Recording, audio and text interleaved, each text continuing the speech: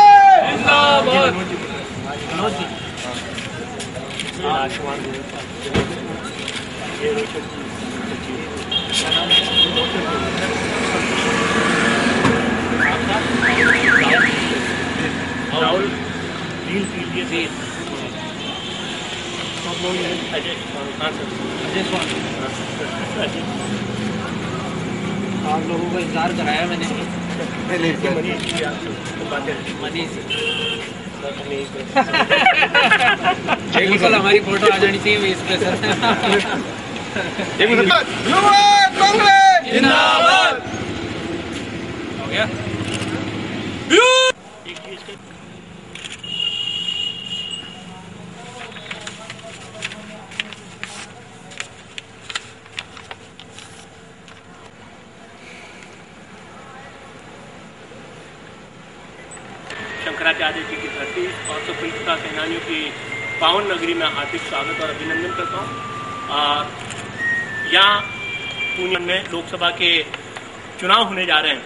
उन चुनाव के परिप्रेक्ष्य में टारगेट 25 जो हमारे राजस्थान के प्रदेश अध्यक्ष श्रीमान सीपी जोशी जी और श्रीमान अशोक गहलोत जो मुख्यमंत्री हैं, उन्होंने हमें दिए हैं। उनके लक्ष्य को प्राप्त करने के लिए युवक कांग्रेस को सक्रिय भूमिका निभाने के लिए जो ज़िम्मेदारी दी गई है, उसके संदर्भ में वे पूरे ज़िले में अपना दौरा कर रहे हैं। इसके अलावा हमारा मुख्य उद्देश्य तो लोकसभा चुनाव में टारगेट 25 जो हमारा है, उसको प्राप्त करना ही है, जिसमें हमारी युवक कांग्रेस पूर्ण रूप से भागीदारी निभाए। हमारी बूथ इकाइयाँ, जैसा कि मैं आपसे अजमेर में बता चुका हूँ कि हमारी बूथ इकाइयों का गठन हो चुका है, और पूर्व में भी विधानसभा चुनाव में 60 परसेंट से अधिक सीटों पर तो बूथों पर युवक कांग्रेस के पदाधिकारी बूथ के ऊपर बैठे थे। और उन्होंने सक्रिय रूप से चुनाव में भाग लिया था। और विश्वास दिलाते हैं आने वाले लोकसभा चुनाव में भी, युवक कांग्रेस अपनी महत्वपूर्ण भूमिका निभाएगी और हर बूथ पे टेन बूथ टेन जूथ का जो हमारे को निर्देश, हमारे परम आदरणीय और हृदय सम्राट श्रीमान राहुल गांधी जी के निर्देश हैं। हर बूथ पे एक जूथ एक बूथ टेन जूथ का जो लक्ष्य दिया गया है, उसको हम शत प्रतिशत पूरा करेंगे। और इसके अलावा सात अप्रैल को जैसा कि प्रदेश युवक कांग्रेस के संकल्प सम्मेलन का आयोजन जयपुर में बिरला ऑडिटोरियम में किया जा रहा है। उसमें युवक कांग्रेस के जो ब्लॉक पदाधिकारी, जिला पदाधिकारियों को आमंत्रित किया गया। उसमें जैसा भी आपका निर्देश और मार्गदर्शन हमें मिलेगा, हम उसे अवश्य पूरा करेंगे। या और ब्लॉक अध्यक्ष कहना सकता हूँ कि जिस प्रकार विधानसभा में कांग्रेस की सरकार बनी है, उसी प्रकार से हम युवा पूरी कोशिश करके लोकसभा में भी कांग्रेस की सरकार लाएँगे, धन्यवाद। हमारे ज़िले के प्रभारी जी सोनिया है। उनका दौरा राजसमंद से ब्यावर का हुआ है। निर्देश दे रहे हैं लोकसभा चुनाव के लिए। सभी कार्यकर्ता एकजुट होकर टारगेट 25 को पूरा करेंगे और राजसमंद सीट से हमारे कांग्रेस के प्रत्याशी को अधिक सभ्य सभ्य बना के अच्छा महसूस कर रहा हूँ। आपके ब्यावर में आके और यूथ कांग्रेस की आपकी टीम देख के, आपका जज्बा देख करके, क्योंकि मेरी जब राजेश जी से बात हुई थी तो भी मैंने उनको कहा था कि अपने नॉर्मल तरीके से मिल लेंगे, क्योंकि सामने आपके माध्यम से अपनी टीम को जो ग्रास रूट लेवल तक जो भी कार्य करता है, उन तक को मैसेज चला जाएगा। लेकिन आप सब लोगों का जज्बा देख के, हौसला देख के, उत्साह देख के मुझे बड़ी खुशी हुई है। आप सब लोगों को जैसा पता है कि टारगेट 25 हमको अचीव करना है। राजसमंद लोकसभा क्षेत्र के अंदर हम आते हैं। राजसमंद लोकसभा क्षेत्र के प्रत्याशी को विजयी बनाने में और अधिक से अधिक मतों से विजय बनाने में यूथ कांग्रेस की भूमिका, हमारे कार्यकर्ताओं की भूमिका, हमारे पदाधिकारियों की भूमिका बड़ी महत्वपूर्ण है। मैं पूरी उम्मीद करता हूँ, कहना भी नहीं चाहिए मुझे कि उस भूमिका में हम खरे उतरेंगे। इसके अलावा मैं महसूस करता हूँ कि आप सब लोग एक महीने का वक्त हमारा ऐसा वक्त है जिसमें हमको दिन रात एक करनी है और आप लोग रात को इस वक्त बैठ करके हम यूथ कांग्रेस की मीटिंग कर रहे हैं। इससे ये भी कहने की ज़रूरत नहीं है कि हमने दिन ए- रात एक नहीं कर रखा है, हम दिन रात एक करके मेहनत कर रहे हैं। आगे भी हम इस तरीके से काम करते रहेंगे।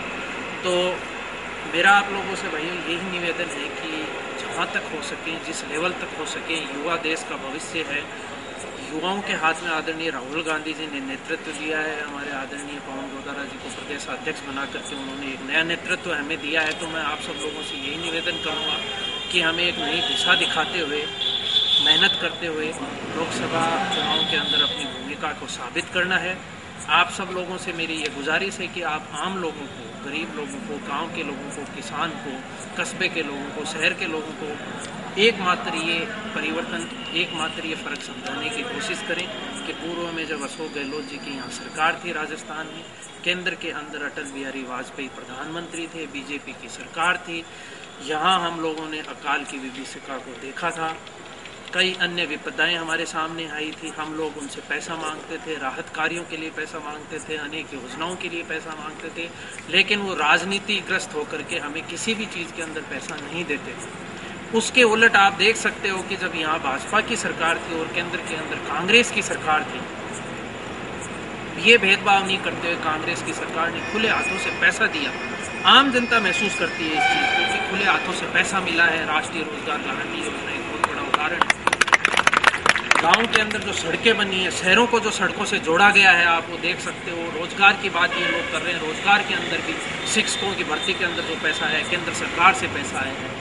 अतः हमें समझाना होगा कि आम जनता के विकास के लिए, लोगों के विकास के लिए, गरीब लोगों के विकास के लिए, सभी लोगों के विकास के लिए केंद्र और राज्य सरकार का सामंजस्य ज़रूरी है। केंद्र में वो बड़े बहुमत से एक बड़ी महत्वपूर्ण भूमिका अदा करते हुए अगर कांग्रेस की सरकार अधिक मतों से लाते हैं या टारगेट 25 हासिल करते हैं तो उनका विकास होगा, क्षेत्र का विकास होगा, सभी लोगों का विकास होगा।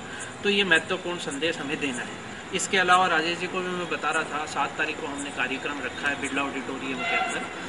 दस से पाँच बजे तक छः बजे तक अपना कार्यकर्ता सम्मेलन चलेगा, जिसमें महत्वपूर्ण जो कार्यकर्ता हैं वो शामिल होंगे। उसके बाद में सीएम हाउस के अंदर, तारीख को मैं आपका प्रभारी हूँ तो मेरे माध्यम से आपको कार्ड दिए जाएँगे। तो ये लिस्ट आपकी बना लेंगे। और जो भी इच्छुक है, राजेश जी को मैं कहना चाहूँगा, जो भी मेहनती लड़का है, जो इच्छुक है, जुड़ना चाह रहा है या जो काम कर रहा है, पदाधिकारी के अलावा भी कार्यकर्ता, क्योंकि कार्यकर्ता सम्मेलन रखा है अपने ने तो उसको निसंकोच होकर के लाएँ और अपनी टीम को मज़बूत करें और सक्रिय करें। आए कहाँ से? कौन कौन से क्षेत्रों का दौरा करके मैं राजसमंद से आया हूँ भीम में रुका में राजसमंद गया और मैं नाथद्वारा था। ये सारे क्षेत्र मैंने कवर किए। तो सर इसमें आपको कैसा माहौल नज़र आ रहा है? बहुत अच्छा माहौल है कांग्रेस का सभी को पता है कि बहुत अच्छा माहौल है उत्साहित माहौल है। आप लोगों ने देखा होगा कल सीएम ने भी सभाएँ की हैं उसमें अंदर भी आपको सभाओं का उसके अंदर भी आपको कांग्रेस के माहौल का पता चल गया होगा। सर आपको मालूम होगा कि भाई अशोक गहलोत सरकार के अभी सौ दिन हुए। जी। दिनों में कोई खास काम नहीं हुआ।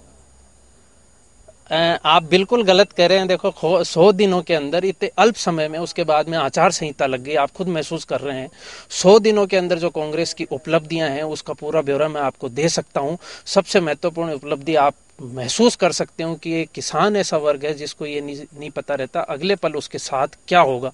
इतने अनिश्चितता के अंधेरे में किसान रहता है उस किसान वर्ग के लिए अगले पाँच साल तक बिजली माफ़ कर दी कि कोई बिजली की दरें नहीं बढ़ाई जाएँगी कितनी बड़ी उपलब्धि वाली बात है आप महसूस कर सकते हैं इसके अंदर। मुख्यमंत्री ने खुद ने अभी मसूदा मीटिंग में बोला था कि भाई अभी मैं बैठा हूँ और सरकार को अभी टाइम नहीं मिला आचार संहिता लगी है। वो मैं आपकी बात समझ सकता हूँ। देखो, आचार संहिता वो उन्होंने इस परिप्रेक्ष्य के अंदर बोला था कि कुछ बारिश की वजह से, ओलावृष्टि की वजह से कुछ फ़सलों को, किसानों की फ़सलों को नुकसान हुआ है। उसके अंदर वो राहत पैकेज की कोई घोषणा करते हैं तो आचार संहिता का माध्यम बन करके वो उनके ऊपर उल्टा पड़ जाता है। सीएम का, खुद का दुख दर्द था ये कि वो मदद करना चाहते हैं लोगों की, लेकिन आचार संहिता के कारण वो मदद नहीं कर पा रहे।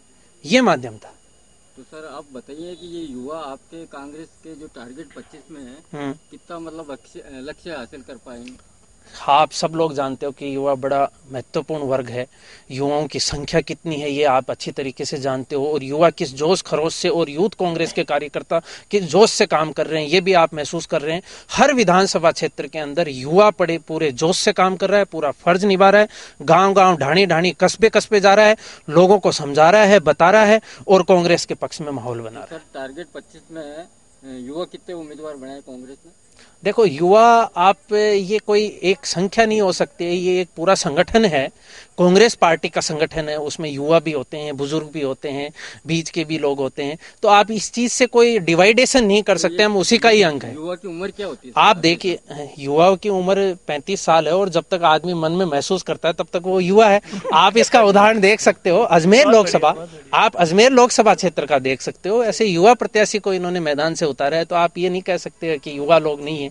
सर ब्यावर ये लो, अजमेर लोकसभा क्षेत्र में जो सांसद आपकी पार्टी के अगेंस्ट में खड़ा है भाजपा का हम्म। उसने मतलब लोकसभा की पिच पे छह छक्के मारे हैं। उसको आप रन आउट कैसे करें वो रन आउट बिना वो पहले से ही बोल्ड है क्लीन बोल्ड है ये तो सबको पता है। वो मैदान में ही नहीं है हम कांग्रेसी उनको मैदान में ही नहीं मानते। ये बात किस आधार पर कह इस आधार पे कह रहा हूँ कि उनको प्रत्याशी नहीं मिल रहा था सचिन पायलट के सामने उतारने के लिए उन्होंने उन्होंने कितनी लेट घोषणा की इस चीज़ का। राजसमंद क्षेत्र में जो अजमेर का सांसद जो राजसमंद से खड़ा हो रहा है उन्होंने छह छक्के मारे मतलब यानी कि छह बार सांसद चुने और सातवें बार में राजसमंद से फिर नहीं छह छक्के मार के अब उनकी पारी समाप्त हो गई तो कोई आधार तो पारी समाप्ति की घोषणा है सबको पता है वो जिस क्षेत्र से पहले बिलोंग करते थे कितना विकास उन्होंने कराया ये बताइए आप। पहले तो उनकी सरकार थी। पहले तो उनकी सरकार थी यहाँ पे भाजपा की सरकार थी कोई विकास कराया? आप किसी से भी पूछ के देखिए तो वो क्या क्या उनको फ़ायदा पहुंचाएँगे जहाँ तक ऐसा मतलब जानकारी में आया है कि वो उनका जाति बाहुल्य क्षेत्र है और उनके हिसाब से वो लग रहे हैं कि आसानी से हमारी देखो भाजपा हमेशा धर्म के नाम पे जाति के नाम पे पूरे समाज को तोड़ते रही है ये काम करती रही है उसके माध्यम से वोट मांगती रही है जनता अब समझदार हो गई है दोबारा ये काम नहीं करेगी। क्या मैं तो देगी मतलब युवा को। युवा आप देखिए ना जब से राहुल गांधी आए हैं कितना जोश जज्बा युवाओं के अंदर है। हमारे इतने बड़े नेता आप अग्रिम स्तर से लेकर के निचले स्तर तक देख सकते हैं युवाओं की कितनी महत्वपूर्ण भूमिका रही है और कितना महत्वपूर्ण स्थान युवाओं को मिल रहा है। और युवाओं को बड़ी इंपॉर्टेंस दी जा रही है पार्टी स्तर पे संगठनात्मक स्तर पे हर तरीके से। एक एक तरफ़ मतलब युवा को आप प्राथमिकता देने की बात कर रहे हैं वहीं प्रदेश सरकार अभी अल्पमत में है और उसका भी मतलब पूर्ण बहुमत की वजह से कुछ ऐसे लोग भी घुस गए जो अभी धमकी दे रहे हैं तो फिर आपकी सरकार कैसे लोगों से वोट मांगेगी? कोई अल्पत में नहीं है साहब, हमारे पास तो एक्स्ट्रा है। हमने तो एक्स्ट्रा रख रखे हैं, इतने सारे एक्स्ट्रा थे, हमारे पास तो ये संकट हो गया था कि किसको ले किसको नहीं ले। तो अल्पत वाली बात गलत है।